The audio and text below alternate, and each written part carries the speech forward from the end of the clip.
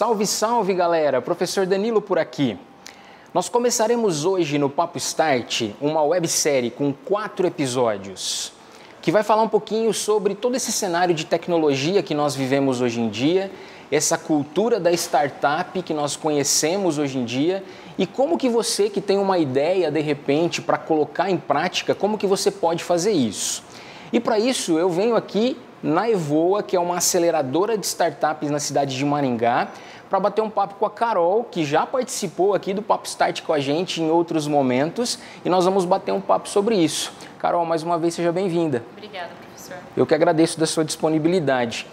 E nós sabemos, a Carol vai me ajudar a contextualizar um pouquinho de toda essa cultura de tecnologia que nós vivemos. As pessoas hoje têm um dispositivo pequenininho nas mãos, o mundo está aqui nas nossas mãos, Aqui a gente interage de diversas formas, fazemos consultas, consultamos diversas coisas, estudamos, aprendemos por conta de um dispositivo móvel que está acessível, cada vez mais popular, mesmo ainda muitas pessoas no Brasil ainda não tendo acesso à internet de qualidade, mas nós temos essa popularização.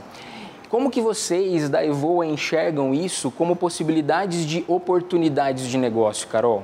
Bacana. Então assim, a gente vê né, que a tecnologia ela é transversal e ela atinge todas as áreas. Então acho que até por isso que hoje a gente vê tantas empresas de software em Maringá, chega a mais de 400. A gente vê o quanto está fomentando né, esse ecossistema, por mais que nos últimos anos, mas o quanto está crescendo isso em Maringá e região. Então ela atende setor de saúde, de educação, diversos setores, agricultura que é muito forte, construção civil. Então eu vejo uma oportunidade muito grande, ainda pouco explorada. Uhum. Então, por isso que o papel da Evo é esse, né? É desenvolver, encontrar realmente projetos que estão aí querendo startar no mercado, querendo alavancar no mercado.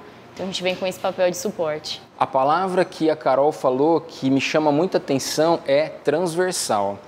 E às vezes muita gente pensa a tecnologia apenas no desenvolvimento, seja no front-end, no back-end, independente de como seja, mas pensa no desenvolvimento, no aplicativo em si. Mas não, na verdade, passa por todas as áreas e às vezes eu preciso ter alguém especialista em outra área para me ajudar nesse negócio, né? Com certeza. Até assim, nas empresas hoje a gente já não fala mais de inovação somente o setor de inovação. A gente acredita que tem que ter inovação em todos os setores, uhum. em todos os processos, enfim, né? E a tecnologia, ela vem para ajudar, mas a inovação não é só tecnologia. Uhum. Então acho que vale ressaltar isso também. Ah, que legal.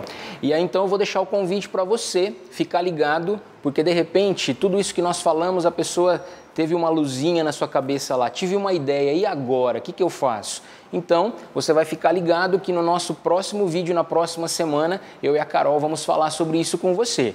Tivemos uma ideia, e agora o que, que a gente faz, né, Carol? Vamos resolver isso. Vamos resolver isso. Então, fica ligado, se inscreve aí no nosso canal, dá um clique aí no sininho para você receber as notificações da EAD Unicesumar. Acompanhe também a TV Unicesumar e será uma alegria na próxima semana continuar esse bate-papo com você. Até lá! Tchau, tchau.